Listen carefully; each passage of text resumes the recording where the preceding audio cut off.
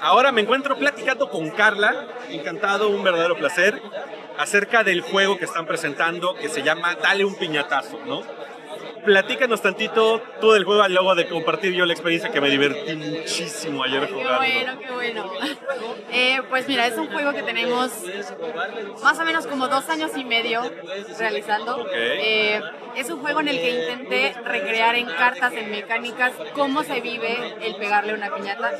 Y pues sí, es básicamente eso. Intentamos que todas las cartas tuvieran un sentido real en lo que pasa en la, en la piñata. Entonces es básicamente una abstracción de qué es lo que sucede en la realidad.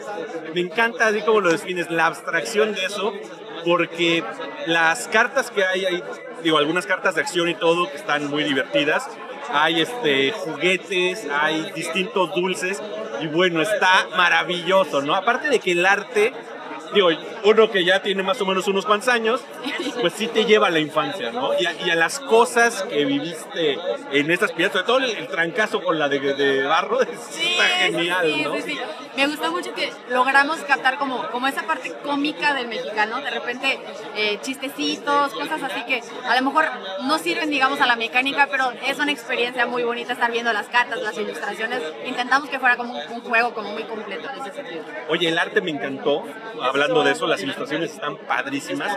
¿Quién hace esa, esa parte? Es un chavo que es de Mérida, se llama José Acosta. La verdad es que increíble su trabajo, impecable, súper, súper. Sí, eh, una maravilla el trabajo. Y bueno, a mí me encantan los dados, por ejemplo, y entonces tener esos dadotes y esas cartas con los golpes, bueno, salimos fascinados. Mi hija también lo jugó, estamos contentísimos.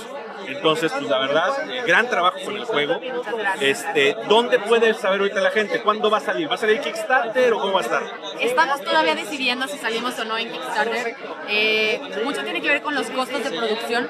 Estamos apenas checando manufacturas y lo mandamos a hacer.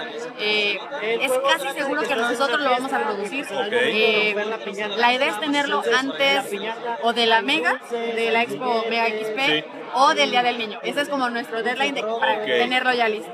Si sale en Kickstarter tendría que ser mucho antes.